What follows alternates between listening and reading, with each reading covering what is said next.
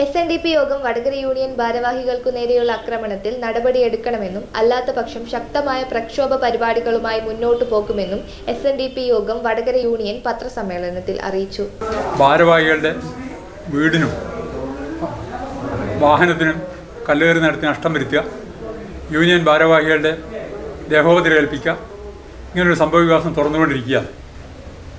പതിനെട്ട് രണ്ട് രണ്ടായിരത്തി ഇരുപത്തൊന്നിന് നമ്മുടെ യൂണിയൻ സെക്രട്ടറി പി എൻ രവീന്ദ്രന്റെ വീടിന് നേരെ കല്ലേറ്. ഉണ്ടായിരുന്നു അത് ആരോ ചില കുട്ടികളാരോ ചെയ്തതാണെന്ന് കണക്കാക്കി നമ്മളതിന് പരാതിയൊന്നും കൊടുത്തിരുന്നില്ല. എന്നാൽ പതിനെട്ട് മൂന്ന് രണ്ടായിരത്തി ഇരുപത്തൊന്നിന് പി എൻ രവീന്ദ്രന്റെ വീടിന് നേരെ കല്ലേറുകയും ജനച്ചില്ലുകൾ തകർക്കുകയും പോർച്ചിൽ നിർത്തിയിട്ടിരുന്ന കാറിന്റെ ബാക്കിലെ ഗ്ലാസ് അടിച്ചു തീർക്കുകയും ചെയ്തിരുന്നു. ഇതിനെ സംബന്ധിച്ച് പോലീസ് പരാതി കൊടുത്തിരുന്നു. പോലീസ് അന്വേഷണമൊക്കെ നടത്തി.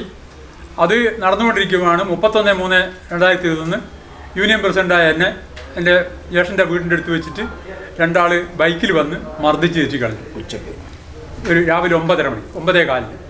അത് സംബന്ധിച്ച് നമ്മൾ പോലെ പോലീസിന് പരാതി കൊടുത്ത് ആ മർദ്ദിച്ച മർദ്ദിക്കാൻ വന്ന ആൾക്കാർ വരുന്നതും മർദ്ദ അവർ മർദ്ദിച്ച് ഒരേ ബൈക്കിന് തന്നെ രണ്ടാളും കൂടി ഒരു ബൈക്കിന് കയറിപ്പോകുന്ന സി സി ടി വി ദൃശ്യങ്ങളും നമ്മൾ പോലീസിന് കൊടുത്തിട്ടുണ്ടായിരുന്നു. അതിന്റെ ദൃശ്യങ്ങളും കൊടുത്തിട്ടുണ്ടായിരുന്നു. പോലീസ് അന്വേഷിച്ച് ഈ രണ്ട് കാര്യങ്ങളും അന്വേഷിച്ച് അവർ തെളിവുകൾ ശേഖരിക്കാൻ പറ്റിയില്ല.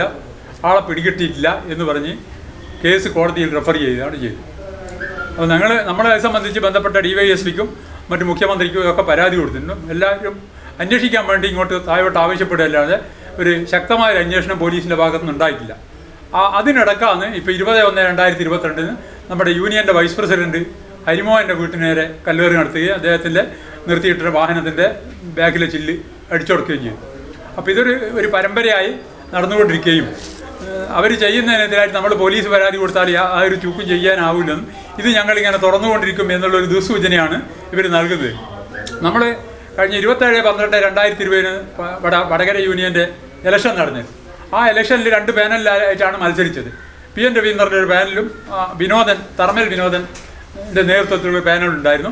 ആ തർമൽ വിനോദന്റെ നേതൃത്വത്തിലുള്ള പാനൽ അമ്പയെ പരാജയപ്പെട്ടു എഴുപത്തിനാല് വോട്ട് കിട്ടി പരാജയപ്പെട്ട്. അതിനുശേഷമാണ് ഇങ്ങനെയുള്ള സംഭവ വികാസങ്ങളൊക്കെ ഉണ്ടാകുന്നത്. നമ്മൾ ഇതിന്റെ വ്യക്തമായ തെളിവിന്റെ ആളെ കാര്യങ്ങളും അവരെ അഡ്രസ്സും ഫോൺ നമ്പറൊക്കെ പോലീസിന് കൊടുത്തിട്ടും പോലീസ് ശക്തമായ നടപടിയൊന്നും സ്വീകരിച്ചില്ല. അതിന്റെ നമുക്കുള്ള പ്രതിഷേധത്തിന്റെ ഭാഗമായിട്ട് നമ്മൾ ഈ വരുന്ന ഇരുപത്തി ആറാം തീയതി രാവിലെ പത്ത് മണിക്ക് വടകര പോലീസ് സ്റ്റേഷനിലേക്ക് ഒരു മാർച്ച് നടത്താൻ തീരുമാനിച്ചിട്ടുണ്ട്. അത് ആ മാർച്ചിലും നമ്മുടെ ഇതിന് ശക്തമായ നടപടികൾ പോലീസിന്റെ ഭാഗത്തു നിന്നില്ലെങ്കിൽ നമ്മൾ അതിന് തുറന്നുള്ള പ്രക്ഷോഭ നടപടികൾ നടത്താനും Vadakara S N D P എന് തീരുമാനിച്ചിരിക്കുകയാണ്. എതിർ കക്ഷികൾ ഉണ്ടാവേണ്ട ഒരു സ്ഥിതി ഇല്ല. കാരണം എസ് എൻ ഡി പി യോഗത്തിന്റെ പ്രവർത്തനം എന്ന് പറയുന്നത് മറ്റ് രാഷ്ട്രീയ പാർട്ടികളെ പോലെയോ മറ്റുള്ള ഒരു പ്രവർത്തന രീതിയല്ല എസ് എൻ ഡി പി യോഗം പിന്തുടരുന്നത്. അപ്പോൾ സമുദായത്തിന്റെ കാര്യങ്ങളും അതുമായി ബന്ധപ്പെട്ട് വിദ്യാഭ്യാസ മേഖലയിലും അതുപോലെ തന്നെ ജീവകാരുണ്യ പ്രവർത്തനങ്ങളിലും ഊന്നിയാണ് എസ് എൻ ഡി പി യോഗത്തിന്റെ പ്രവർത്തനം നടക്കുന്നത്. അത് യോഗത്തിന്റെ നേതൃത്വത്തിലായാലും വടകര യൂണിയൻ നേതൃത്വത്തിലായാലും ശാഖകളിലായാലും അത് തന്നെയാണ് നടക്കുന്നത്. അപ്പോൾ ഞങ്ങളെ സംബന്ധിച്ചിടത്തോളം വടകരയിൽ വളരെ എളിയ രീതിയിൽ ഒരു വാടക കെട്ടിടത്തിൽ ആരംഭിച്ച് ഇന്ന് ഇരുപത്തിയൊന്ന് കോഴ്സുകളുള്ള കാലിക്കറ്റ് യൂണിവേഴ്സിറ്റിയുടെ കീഴിലുള്ള ഏറ്റവും വലിയൊരു സ്വാശ്രയ കോളേജ് നടത്തിക്കൊണ്ടിരിക്കുന്നുണ്ട്. അവിടെ നമ്മൾ ഒരുപാട് കുട്ടികളെ സൗജന്യമായിട്ട് പഠിപ്പിക്കുന്നുണ്ട്.